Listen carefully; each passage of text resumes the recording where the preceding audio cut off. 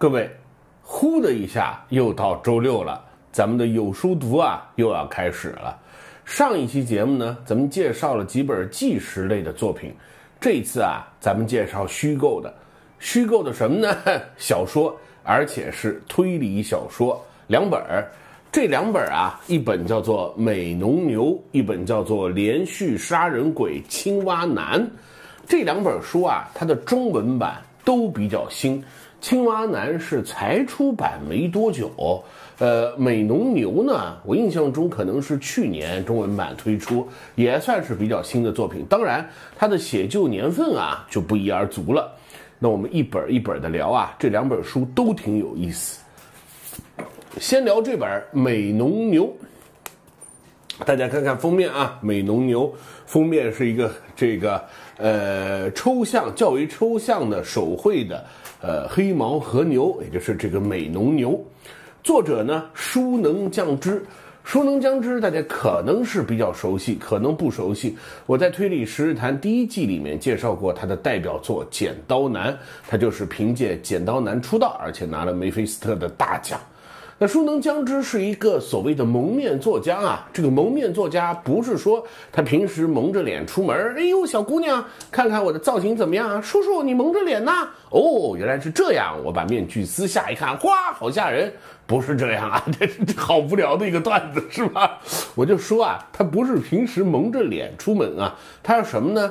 他是指的这个蒙面作家，指的这个人呢，很低调，平时他的生平啊，他的真名啊，各种东西不对外公布啊，就是云里雾里吧，这防止呢大家吃了鸡蛋好吃就要去找母鸡，你没事你老去找鸡干嘛呀？就别来找了。所以呢，就是蒙面啊，呃，不以真面目示人。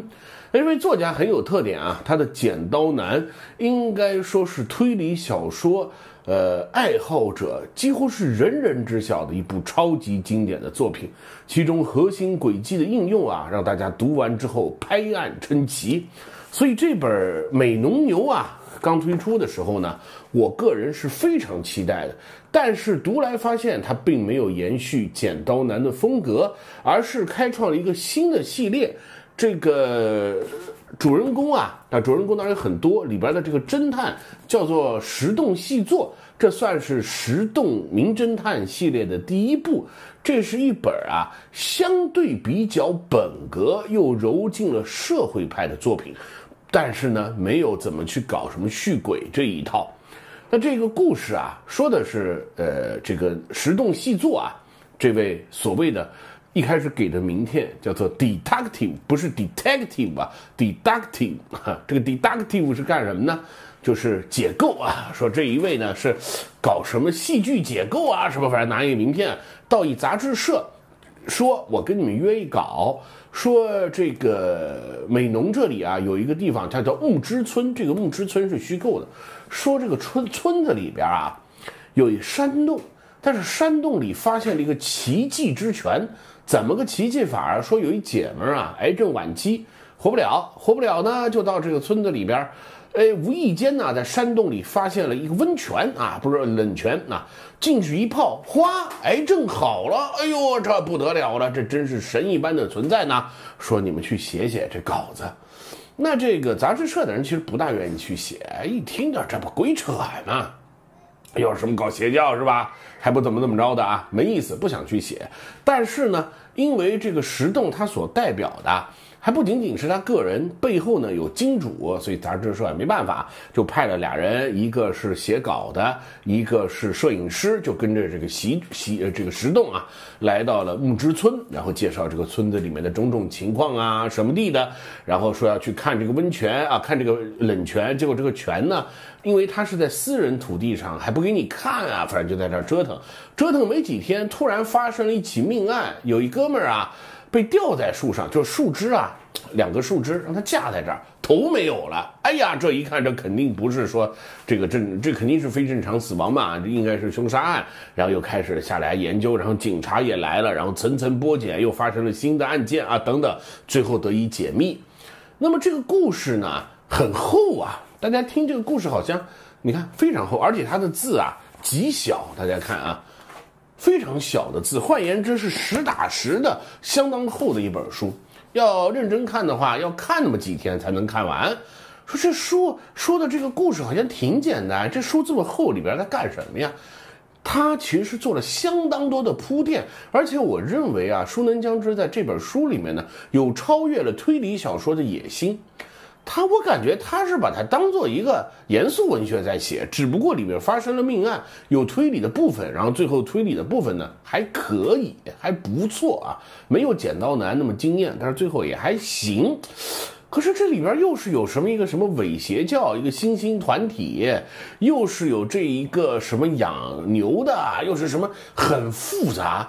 光是介绍这些背景，说很多与案情无关，包括这个名侦探石洞细作也给了他的笔墨相当的足。然后又有里边这个作者又什么什么的，就是里面派去采访的这个人，又跟当地小姑娘什么暗生情愫，什么乱七八糟的啊。我觉得他野心很足。他是想真正的说一个复杂的故事，而不是说我一侦探来这儿就死了人我就去办。呃，他可能是想着走这个社会派本格那种方式去写，但是我个人读完呢，就觉着也可能是因为我抱着像剪刀男一样的期望去看这本书，看完之后呢，我坦白的说没有觉着那种酣畅淋漓之感，但是这本书的用心和寓意，我认为是比较足的。单从它这个名字啊，美浓牛就能看出来，美浓牛是什么东西啊？呃，美浓其实就是其父的古称。如果大家玩过信长的野望，应该知道这个地方啊。它当地呢有一种黑毛和牛，这个和牛呢肉质好，脂肪含量。比较高，然后呢，肌间脂肪分布很均匀啊，算是一种优质的和牛，可以说跟神户牛啊不相上下啊。它这个牛叫做飞头牛，头就是一个马，然后一个单身的单呐，飞头牛不是飞蛋牛啊，这这咱们来把这蛋都飞了，还吃什么牛是吧？飞头牛啊，不要读错别字。这个牛呢，很牛叉儿。那可是美农牛就等于非头牛吗？不是，非头牛当然是美农牛，可是美农牛却未必是非头牛。你养一个美农牛啊，就这个品种一种黑毛和牛嘛，你在美农这一块、岐阜这一块养。养到十四个月以上呢，要去评定。评定是干什么？一个是看它的出肉量，分成 A 级和 B 级啊，A 级的更好，B 级的差一些。另一个是看肉质，肌间脂肪啊分布是否均匀啊，这种霜降的感觉足不足啊，等等等等，一二三四五这么一个一个去往下评啊，你必须要到 B 三级别以上。你这个美浓牛才能叫做非头牛。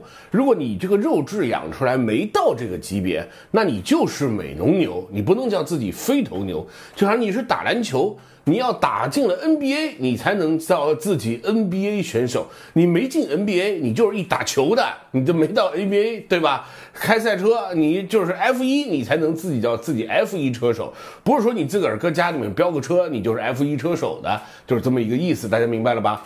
所以等于说都是美农牛，可是只有一部分能成为飞头牛，成为了飞头牛，那个身价啊是这个几何倍数的增长。美农牛不值钱，飞头牛很值钱。所以当然，所以现在也有些无良厂商啊，用没有达到级别的美农牛冒充飞头牛啊，那是另外一个故事。总之就说，你看它其实是有一个很深的比喻的。我们人又何尝不是如此啊？比如说社会精英也是人，对吧？可是不是人就能叫做精英，你一定要达到某一种级别，你才能成为所谓的精英，否则你就是平头老百姓，你就是泯然众人矣，是不是？这就是它这个东西是很有寓意的。那么这个美浓牛的寓意投射在这个故事里面，具体是投射在什么地方啊？我倒觉得不用多说了，大家自己去读一读会比较好。我的总体评价，我就认为这本书是值得读、可以读，但不是非读不可。尤其是如果你是剪刀男的，就书能将之的这本剪刀男的铁粉，你希望在读这本书的时候重新获得如剪刀男、剪刀男一般的阅读的愉悦感，我倒建议你就不要读了。如果你只是想读一本文笔流畅啊，呃，各方面都很 OK 的社会派的本格的小说，就这种谜题是本格的，风格是社会派的这样的一本小说，有时候还有本格的社会派吗？嗯，其实松本清张早期的作品《点与线》。呃，零的焦点、死亡邮递啊，这些都是我觉得都可以理解为具有本格性质的社会派小说，对吧？所以啊，如果你是想找这样一本书看，那么这本《美浓牛》可以读，值得读；否则呢，也不是非读不可啊。这是我的评价。或许我没有完全理解这本书，但是我觉得似乎也都想明白了。包括最后，它实际上有一个半开放的，这么你可以自己往里添很多想法的。我觉得我也构成了一套理论呢，但是咱们不剧透了，就不说了啊。这是一本《美浓牛树能将之》的作品。第二本《连续青蛙男杀人事件》啊，因为我所有的哎，我的书腰，我所有的书腰啊，都喜欢看完之后夹在书里边，免得以后找不着。所以你看啊，这个书腰上面写的很耸动啊。这本推理小说了不起啊，令评审激辩的。候选之作，这个推这本推理小说了不起，是一个呃评选啊，每年会排第一本、第二本前十名啊，如何如何评进去，一般都是好书啊，都是好的推理小说。说评选要激辩，为什么激辩呢？就是有人说这本书不行，有人说太厉害了，要给他第一名啊，对吧？呃，中山七里的说逆转之王，中山七里社会派推理代表作，底下来了一句啊。反转，反转，再反转，让你没有惊讶与喘息的时间啊！怒涛的反转，这应该就是这么理解。那是不是这样呢？的确，在最后有连续的反转，但是这个反转是反转了。就是你翻跟斗是翻跟斗了，你有没有翻出这个如来佛的掌心？那是另外一回事孙悟空在掌心上翻跟斗啊，这一个筋斗就过去十万八千里，连翻多少？觉得早都出去，结果发现还在掌心之中。所以这个中山七里最后这个反转再反转，有没有反转出读者的意料之外呢？我认为还可以。啊，反转是好几层，第一层反转你或许觉着 OK，意料之中，不过如此。哈，我看了这么多，你反转就反这个啊，你这没有意思啊。你底裤啊红颜色的，反过来看，嗨，还是红颜色，那是什么意思啊？结果说别忙，底裤里还有一小兜，你再看一掏一黄颜色，哦，这会了，黄的再一翻变绿了，哦，没想到这底裤都是绿的，没想到它就是这样。就是第一番你觉得不出奇，第二番你觉得还可以，第三番再翻的时候呢，我觉得就会出出出乎大多数读者的意料了。起码我是完全没想到，啊，这个还可以连续的翻转的结局。那故事说的是什么呢？你故事要翻，你前面要铺垫足嘛。说的我觉得氛围搭建的非常好。他是说啊，就是发生在这个一个地方啊，发生了连续杀人案。那连续杀人案什么意思呢？就是第一个人被发现啊，呃，他是第一个，他是好几个人，有有人是被烧死，有人是怎么着？发现第一个啊，一个女的，一个女的，在一个住宅楼公寓里边一个女的，她被吊在住宅楼里面，就是她是先被掐死，先被猛击后脑之后再被啊掐得窒息而死，然后她被吊在这个。挂钩啊，就是你想住宅楼外面啊，就是走道上面，大家见过那种住宅楼走道长长的，大家想想日剧里面常看的，或者跟我们学校教室有点像，教室外面不是有条长长的走道，然后是一个阳台性质的嘛，然后外面有挂钩，这个女的呢，她就被挂在挂钩上啊，就嘴从这个地方一挂就挂在那儿，然后很 很这个死状很恐怖吧，对吧？很吓人啊，然后旁边留了一个手写的字字条。这个字儿一看啊，也像是小学生的字儿。这个说话的内容也像小学生。呃，字条说的是什么？就是说什么啊，这个什么青蛙什么，我已经玩腻了，大概这一类，然后把它如何如何处理。然后连续发生了好几起，都是死状很惨烈，作案手法是一样，然后都在旁边留下了这个字条。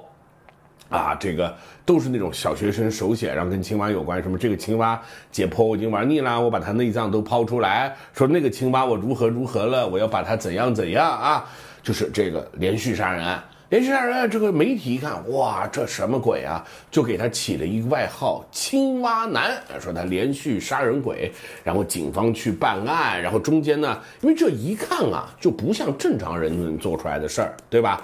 很明显。具有这个变态杀人的风格，也可能是，而且很可能是快乐杀人，所以呢，他是干什么呢？他就是呃，警方就觉得是不是要找心理专家帮忙研究一下啊？然后又这是一条线，然后追踪是一条线，然后呢，警察这个其他的私私下的暗流涌动去调查又是一条线，几条线最后啊合而为一汇成一条流，这个河流呢最后又连续的翻滚，达到了所谓的怒涛的结局。呃，整体来说，我认为氛围铺垫的相当的不错，即便啊。最后没有什么了不起的反转，就它就变成一本硬派派小说。我也觉得前面关于青蛙男这种连续犯罪的那种氛围的铺垫、细节的描写啊，很棒。我觉得如果是拍成那种电视剧，光是第一幕就能让你看下去，所以很精彩。因此我也是这个花了一个下午的时间呢，因为书其实你看书本身就不厚，然后字儿啊是比较大的，不像美浓牛那个字很实在啊，这字儿比较大。大概花了一个下午的时间把这本书看完，因为这种书就是越往后你越想知道真相，你越容易停不下来，对吧？所以我就把它看完之后，觉得 OK。所以这本书的推荐程度，我认为相对高一些。我觉得无论你是喜欢啊，呃，这就不能说，因为有些东西说出来就是剧透。反正我就觉着啊，只要你对于推理小说不排斥，或者说你是比较喜欢推理小说的人，这本《青蛙男》都可以考虑读一读。很精彩的一本书啊，呃，后面标价是五十六，美农牛的标价是六十八，而实际上你买都不需要这么多钱。我们中国的这个图书有一个特点，就是为了配合电商啊，价格都是虚高，然后让你说满五十，满一版减五十，所有乱七八糟，所以经常会出现什么？为什么 Kindle 在中国玩不下去？除了盗版什么之外，很重要一个原因，其实是因为中国的电子书和纸质书的价格是倒挂的。电子书没有太多在价格上的优势，方便是方便了，没有太多价格上的优势，所以啊，这个这几本书其实也都不贵了，就是推荐给大家啊。连续杀人鬼青蛙男，还有美浓牛两本非常有意思的推理小说，而且都是比较偏社会派的啊，都是社会中有本格啊，现在就是。